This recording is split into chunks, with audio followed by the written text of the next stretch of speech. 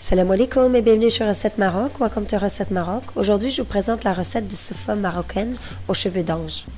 Today, I would like to share with you how to prepare sweet Moroccan vermicelli. Placez les vermicelles dans un grand récipient et versez l'huile végétale. Bien mélanger avec vos mains afin que chacune des vermicelles soit imbibée d'huile. Place the vermicelli in a large recipient and pour the vegetable oil.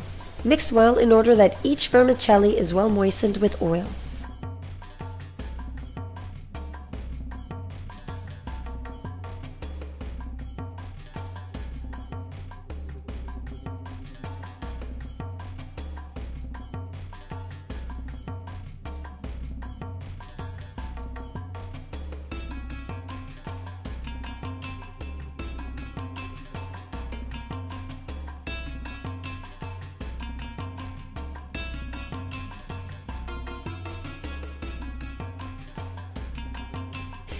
Faites cuire les cheveux d'ange à la vapeur pendant 20 minutes. Vous pouvez soit utiliser un appareil électrique ou les placer dans la partie élevée du couscousier.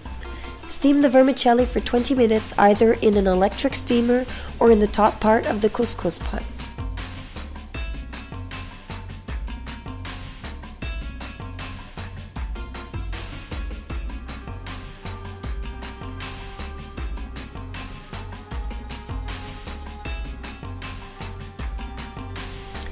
Faites diluer le sel dans l'eau froide et versez sur la vermicelle.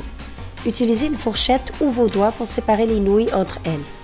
Dilute the salt in cold water and pour on top of the vermicelli. Use either a fork or your fingers to mix and separate the noodles.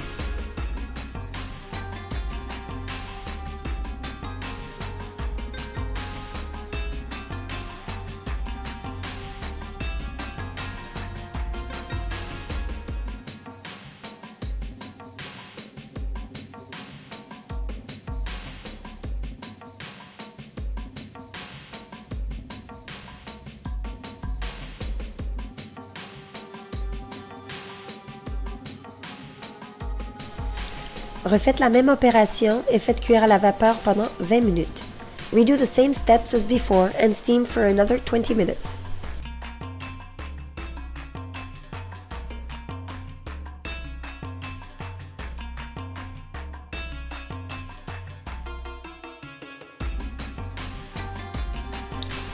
Versez de l'eau froide et séparez les nouilles. Ajoutez également les raisins secs et bien mélanger à la main. Pour some cold water to separate the noodles. Add in the raisins and mix well.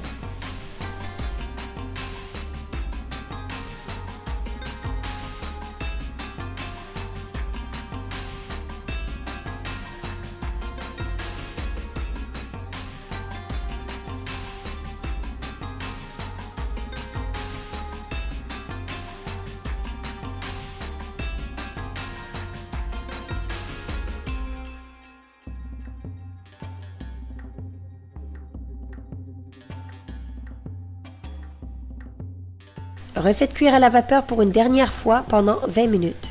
Steam again for 20 minutes. This will be the last time.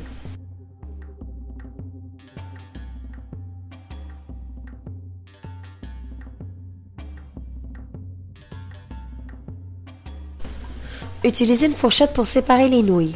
Ajoutez du beurre, de la cannelle et du sucre glacé. Bien mélanger.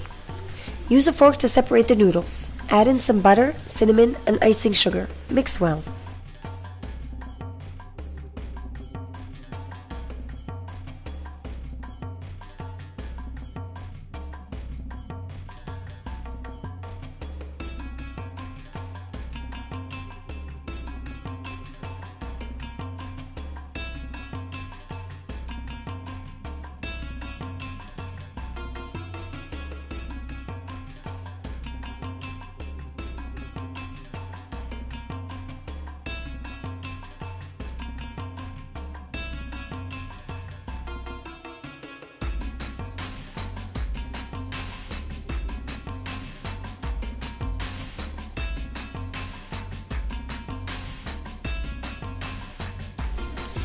Dressez la vermicelle en forme de cône et décorez de cannelle, sucre glacé et d'amandes effilées ou hachées.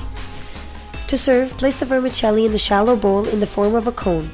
Decorate with some cinnamon, icing sugar, and sliced or chopped almonds.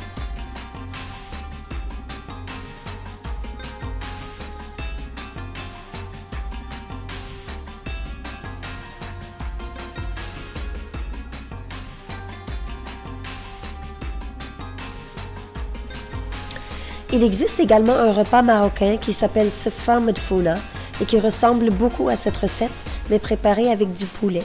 Ce sera ma prochaine vidéo.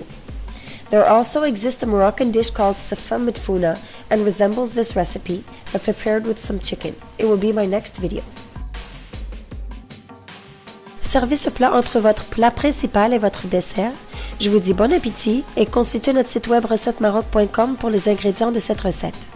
Serve this between your main dish and dessert. I hope you enjoy and check out recetteMaroc.com for the ingredients to this recipe.